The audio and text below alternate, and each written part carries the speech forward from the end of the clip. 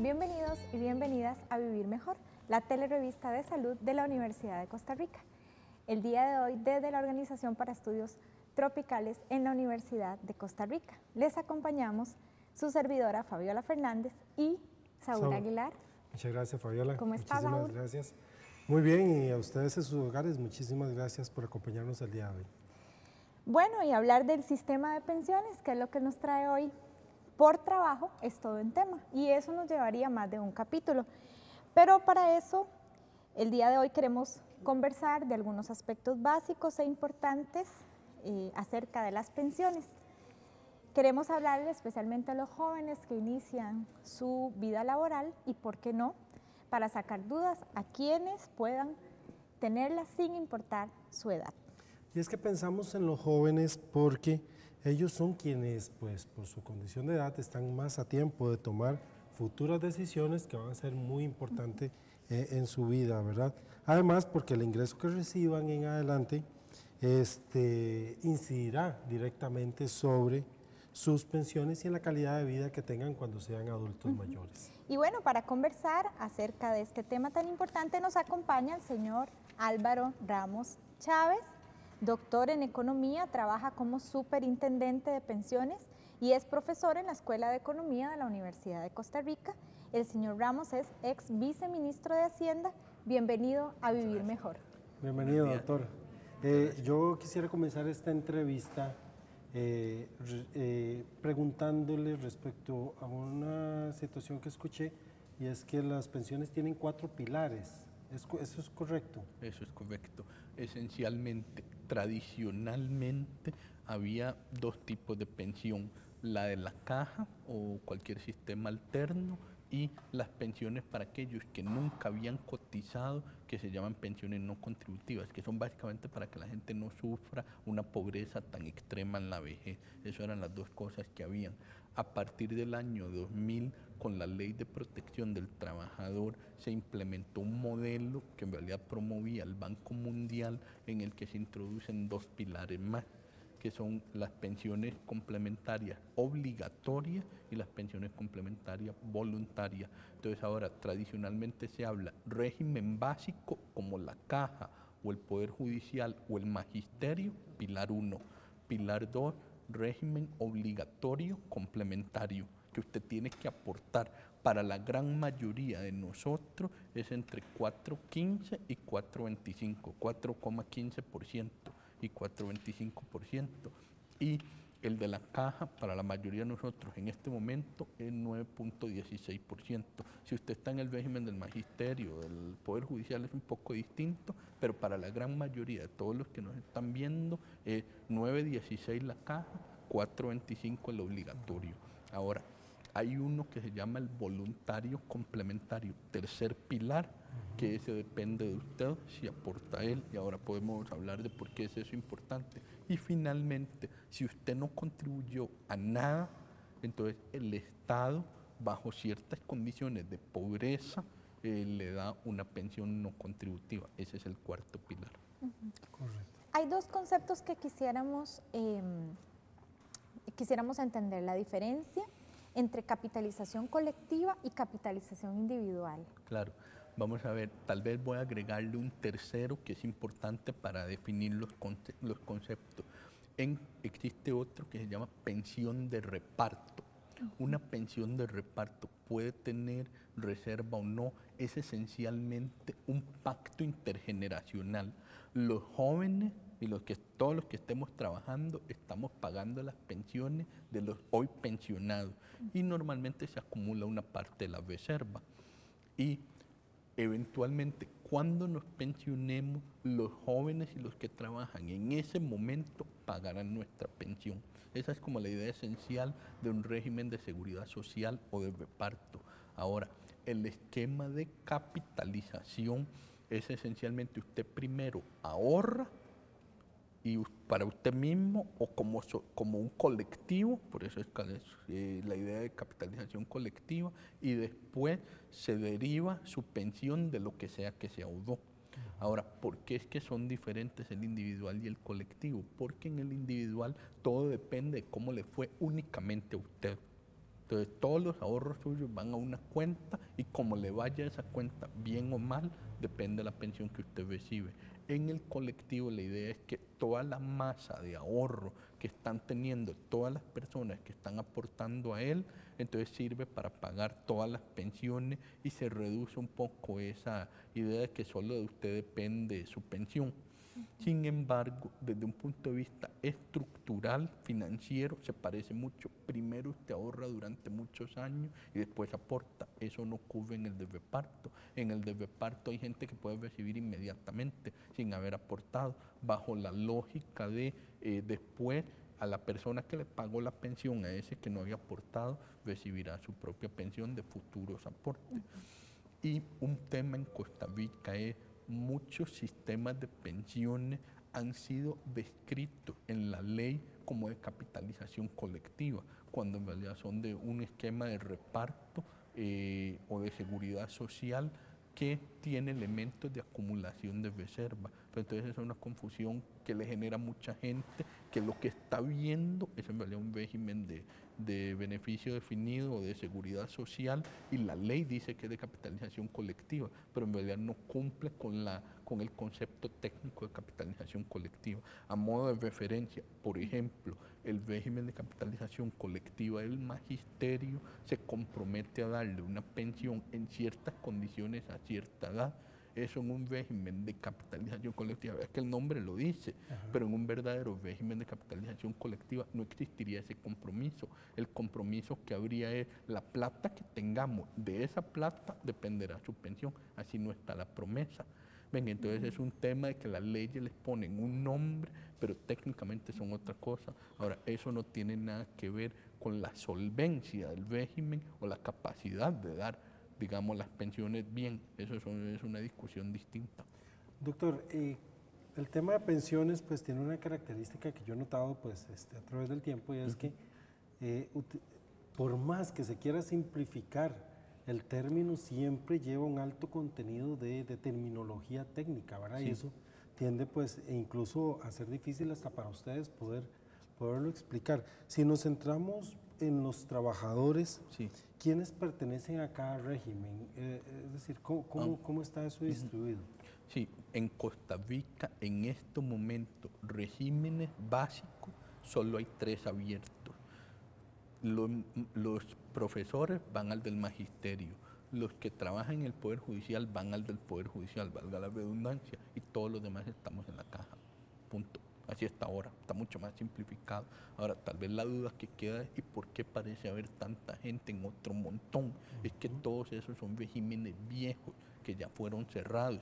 Entonces, por ejemplo, el régimen de Hacienda, el régimen de la ley marco de pensiones, o sea, hay un montón de otros regímenes, pero este programa es para los jóvenes. A los jóvenes solo les deberían aplicar esos tres Digamos, hay gente que está mucho más cerca. O sea, la gente que está entrando nueva no entraría a esos otros. No tienen ningún Solo tienen esas tres opciones. Eso ya se cerró. Que en la mayor parte irían para la, para la caja, digamos. La gran mayoría para la caja. Bueno, es necesario ahorita hacer un primer corte. Perfecto. Y ya regresamos con más de Vivir Mejor.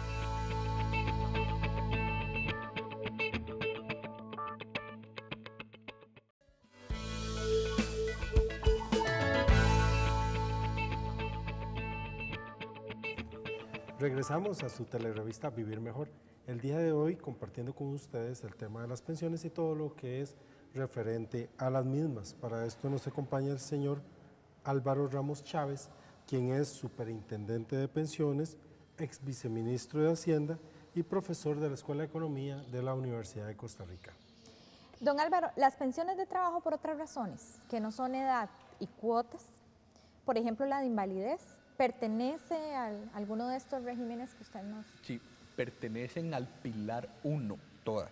Entonces, por ejemplo, si usted está en el magisterio o en el Poder Judicial o en la caja, en caso de que usted fallezca, su pensión le queda a sus beneficiarios, llámese su viuda o viuda o sus hijos, y, o los dos. Y también si usted sufre algún accidente, entonces se le paga una pensión por invalidez tanto así que lo que la gente normalmente llama pensiones de la caja, en realidad son pensiones por el régimen de invalidez, vejez y muerte.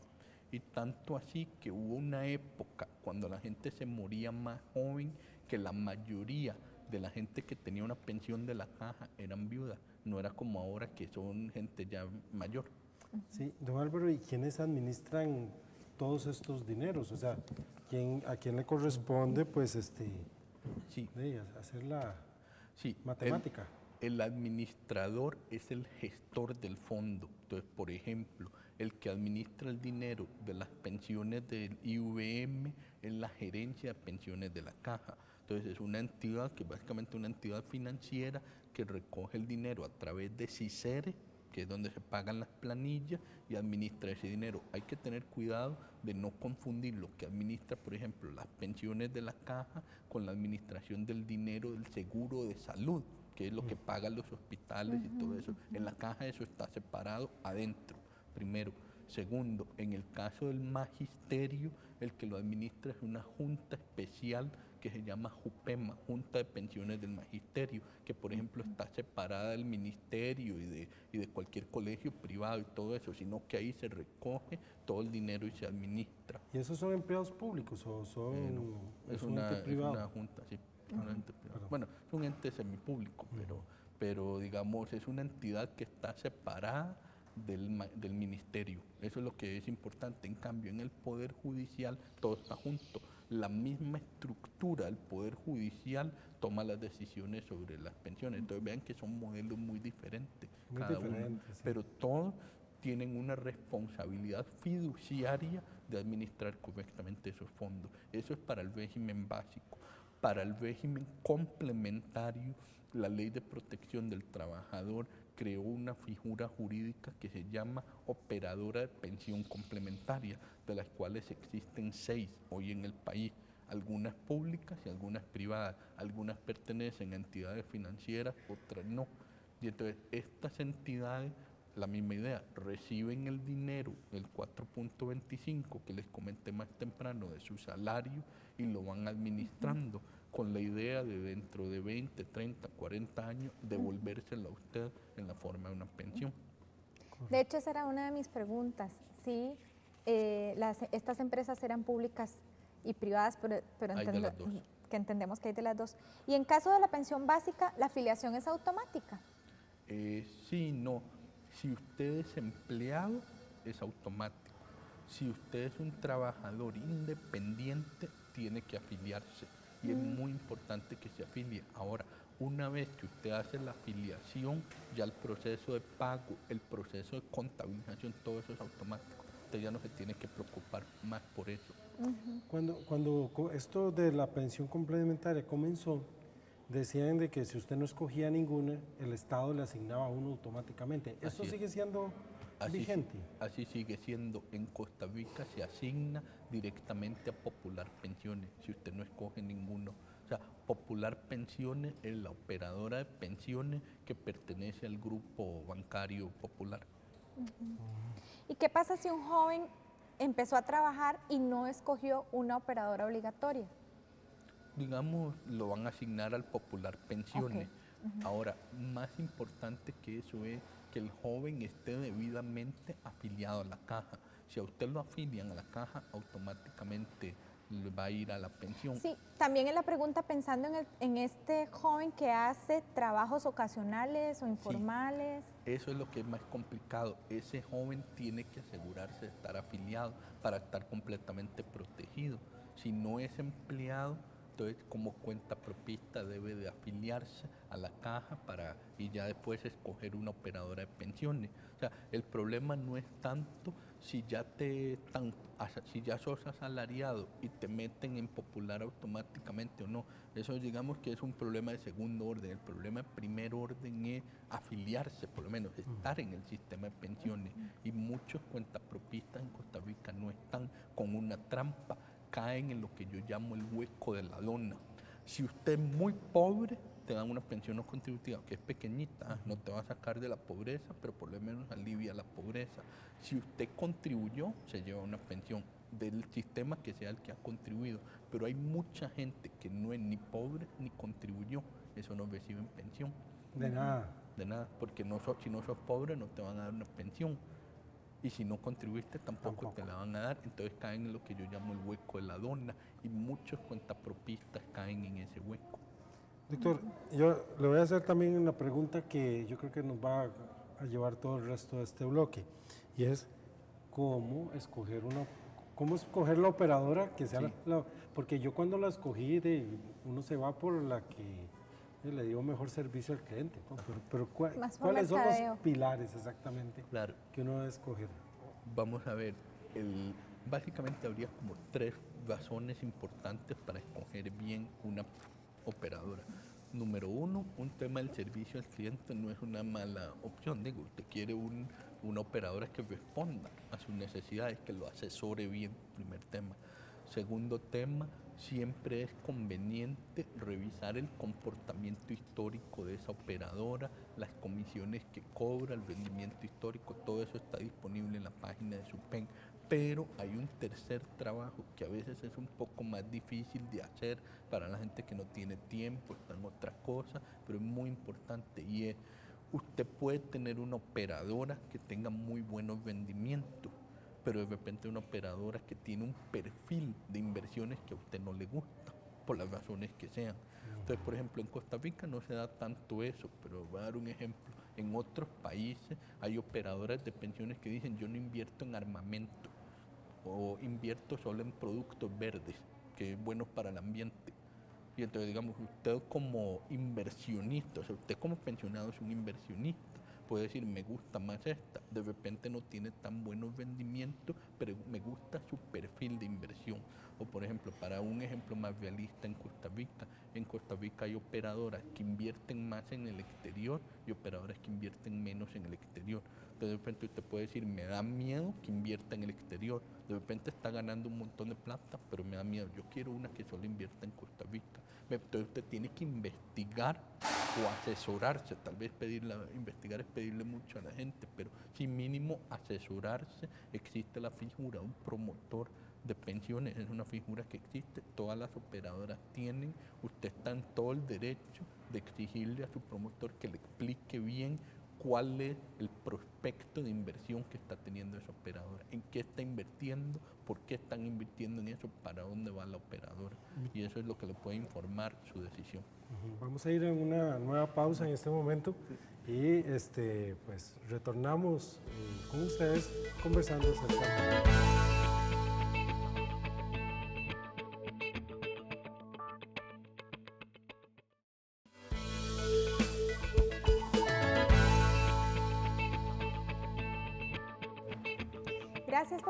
con nosotros en Vivir Mejor.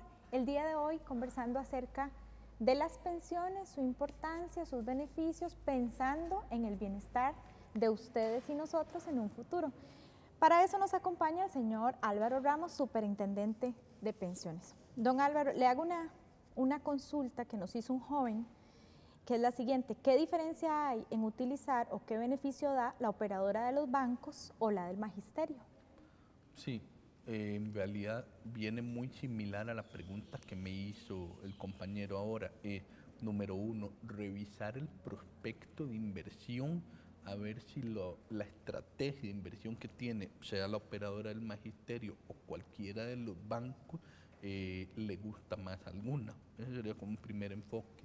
El segundo enfoque tiene que ver, vamos a ver, hay algunas operadoras que, por ejemplo, le tienen que devolver el 50% de las utilidades, otras no.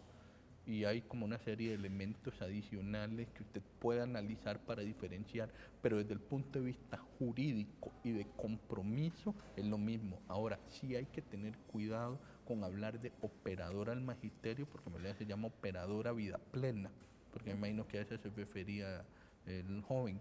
Pero una cosa es la operadora vida plena, que es una entidad jurídica que administra pensiones complementarias, y otra cosa es la Junta de Pensiones Del del, magisterio. magisterio, que administra un régimen básico, que ahí sí, ellos eh, en vez de tener 4.15 del- de su salario, agarran 18% de su salario y lo administran para darle una pensión completa, que sustituye la de la caja, no complementa la de la caja, como lo es una pensión complementaria. Doctor, normalmente uno en la cotidianidad escucha a muchos jóvenes principalmente decir, ah, de por sí cuando yo llegue a, a pensionarme ya a mí no me va a alcanzar para, a mí no me van a dar pensión. Eh, eh, ¿Qué cierto tiene eso o qué falso tiene esa creencia que uno escucha mucho en la calle? Sí, vamos a ver, en esto es muy importante pensar en una pensión como, vamos a ver, hay dos tipos de pensiones, tal vez volviendo a esto, las complementarias y de capitalización, la pregunta que usted me hizo al principio, eso es simplemente una acumulación de dinero que algún día le tiene que dar un retorno. Ahora, ese retorno puede ser mayor o menor, que es por ejemplo la sorpresa que se llevaron algunos chilenos, que ellos aportaban 10% a una cuenta de capitalización y ahora no les alcanza para una buena pensión. Eso es muy de esperar yo creo que en Chile se comunicó mal que esperar de la pensión. Lo normal en una pensión de capitalización para que alcance para todo el dinero es más o menos tener que aportar entre 18 y 24%, dependiendo a qué horas te querés, eh, a qué edad te querés ir, digamos, te querés retirar. Entonces, claro, si la gente está pensando en que con 10% alcanza solo porque es privada o es pública, ahí hay un error conceptual, digamos, actuarialmente, ya a la hora de analizar cuánto tiene que ahorrar usted, piénsenlo en ustedes mismos, digamos, en su cuenta bancaria. Olvídense, como si no hubiera un sistema de pensión, usted ahorra 10% todos los meses, tum, tum, tum, tum, ¿de verdad va a alcanzar para una pensión? En realidad no alcanza. Ya, ya a la hora usted que hace los números con cuidado, no le va a alcanzar y así es como funciona. O sea, las operadoras de pensiones o los regímenes básicos no son mágicos, no tienen una manera mágica de hacer aparecer la plata. Entonces la pregunta es, ¿por qué si alcanzaba con la caja ahorrando, qué sé yo, siete y medio, ocho y medio antes? Básicamente porque cada generación era el doble de la anterior hasta hace tan poquito como 1980 las mujeres tenían cuatro hijos en promedio, menos de 20 años después tenían dos hijos en promedio. Entonces, claro, era muy diferente. Si la siguiente generación era el doble de grande, y hagan los números aproximados, yo les acabo de decir, con más o menos 18% alcanza. Si usted tiene cuatro hijos y cada uno paga siete y medio, entonces es como haber tenido dos veces la gente. Entonces, más o menos como un 15, 16, por eso era que alcanzaban las pensiones. Pero ahora que solo tenemos dos hijos en promedio, hay que pagar como en los países europeos, hay que pagar casi 20. Y ese es el proceso de ajuste en el que estamos en este momento. En este momento estamos en 14.4, pero en 13.4. Entonces ya vamos por 13.4 los que aportamos a la caja y a, y a, ¿cómo se llama? Y a una complementaria. Pero entonces ese es el temor que usted percibe, que la gente intuye que como cambiaron tanto las condiciones demográficas y de longevidad, eh, vamos a tener que aportar mucho más en el futuro. Pero eso no es, a ver, no es como un tema de que usted no va a tener pensión, no va por ahí el tema. El tema es que tenemos que estar dispuestos a hacer los ajustes sociales. Y no hay que hacerlos todos de un golpe, esas son las buenas noticias, los podemos ir haciendo gradualmente, pero hay que empezarlos a hacer, porque el problema es que estamos acostumbrados a darle 13 y algo al sistema y decir, deme una pensión completa. Pero lo que pasa es que los suizos, los noruegos, los franceses, todos están acostumbrados desde hace mucho a dar más de 20 entonces no puede ser que nosotros digamos, deme una pensión como la, como la recibe un noruego un francés, pero yo solo quiero dar 13. Eso es lo que no va a ser posible. Ven, entonces digamos, la disposición que tenemos que tener los más jóvenes es, vamos a ver, no me lo haga todo un golpe, pero poquito a poco ir incrementando el aporte hasta un aporte que haga sostenible los sistemas de pensiones. Ahora también una pregunta sería, ¿qué será lo que pasará si uno no aumenta el aporte? Entonces, generalmente o nos vamos a tener que pensionar más viejos o nos vamos a tener que aceptar pensiones mucho más pequeñas, que fue lo que le pasó a los chilenos. Entonces, un poco ahí el tema de fondo es, creo que si somos prudentes y hacemos las reformas con cuidado, podemos lograr una combinación balanceada de tal vez aceptar pensiones un poquito más pequeños, aceptarnos pensionar un poquito más viejos, pero entonces no hay que subir tanto el aporte. Pero ese tipo de balance es el que hay que hacerlo muy técnicamente, con mucho cuidado y que probablemente va a requerir de mucha discusión política. Pero mi mensaje el sistema de pensiones tiene que ser ajustado, pero no está en crisis por una razón muy simple, porque este no es un país, vamos a ver, es un país con muchos problemas, pero sí tiene la capacidad económica de pagar las pensiones, siempre y cuando proveyamos para ellas. Hay países muy pobres, piensen en un Haití. Usted me dice, en un Haití, ¿cómo haces para pagar pensiones? No puede. Es un país que con costo logra alimentarse a sí mismo. Ese no es un problema en Costa Rica. entonces es como diferente. La, al final el tema de pensiones es un tema fundamentalmente económico, de la capacidad económica del país. Y yo sí siento que Costa Rica tiene hoy y tendrá en el futuro la capacidad económica para Bueno, eso es una muy buena noticia, don Álvaro.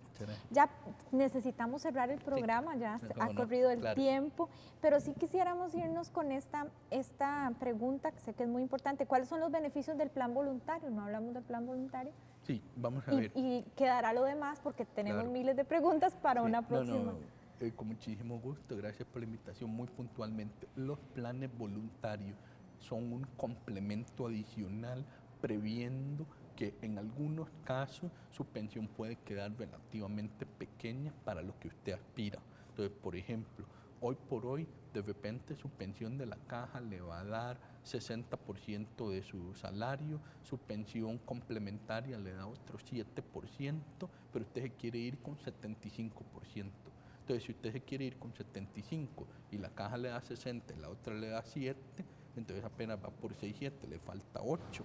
Y digamos que usted tiene 50 años, entonces su pensión voluntaria puede servirle. Usted se, asesora bien y dice, mire, yo quiero irme con 65% del salario, yo ya veo que voy para 75, yo ya veo que voy para 6, 7, me falta 8%, ¿cómo lo consigo? Entonces ya con una complementaria usted puede llenar esos huecos según las necesidades que usted tiene o lo que usted aspira a tener. Para eso sirven las voluntarias. Doctor, muchísimas gracias. De verdad que el programa se nos hizo muy corto para todas las preguntas que yo sé que, tenemos. que tenemos y que sabemos que en los hogares eh, pudieron disfrutar mucho de toda esta explicación. Esperamos poderlo tener pronto.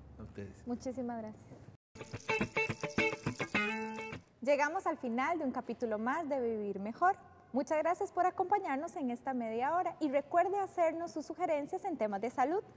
Puede comunicarse con nosotros al teléfono 2511-6959 o por nuestras redes sociales. Los esperamos en nuestra siguiente edición. Hasta luego. Hasta luego.